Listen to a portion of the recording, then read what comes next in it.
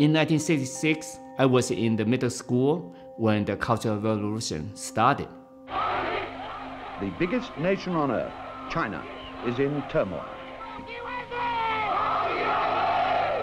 Is China's aging leader, Mao Zedong, losing control?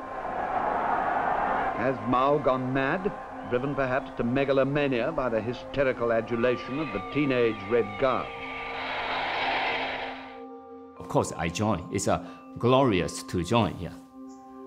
I was uh, totally uh, pour my energy, even my life, into it to support whatever Mao asked me to do. Mao had decided to mobilize the young people as the driving force of a vast campaign to purify the Communist Party. There was to be a new revolution, a cultural revolution, a revolution in people's thinking. We went to Beijing. Mao received us after we arrived. We walk out in the middle of night because uh, in the morning we are going to walk through uh, Tiananmen Square to see our great leader. It was exciting. We thought he was a god. Inspired by Mao, the Red Guards went wild in their enthusiasm to keep the revolution alive. They worship Mao as their leader and follow his instructions without question.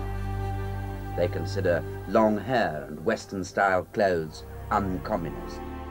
Teachers were the target of the political campaign.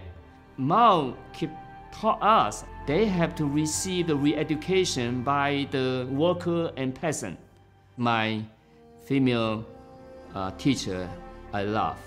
She like to wear uh, beauty clothes. She care for appearance. There was a criminal uh, accusation.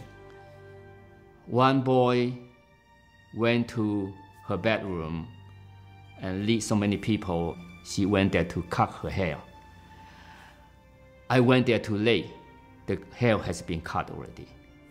He was humiliated. I couldn't help. I couldn't help. I couldn't rescue her. Shame on me. Shame on me. After reports of riotings, beatings up, and even murder, the Red Guards seem to have gone too far. Their leaders have told them to cool off and go and help with the harvest. The end of 1967, I began to kind of reflection, and I found that Mao was not in control of the Cultural Revolution. And we lucky live in the southern China. There is a choice to escape to uh, Hong Kong. I took this risk and begin to my free life. I studied sociology and later on went to UC Berkeley for political science. In America, I settled with my family, children, grandchildren, and also my career, my business.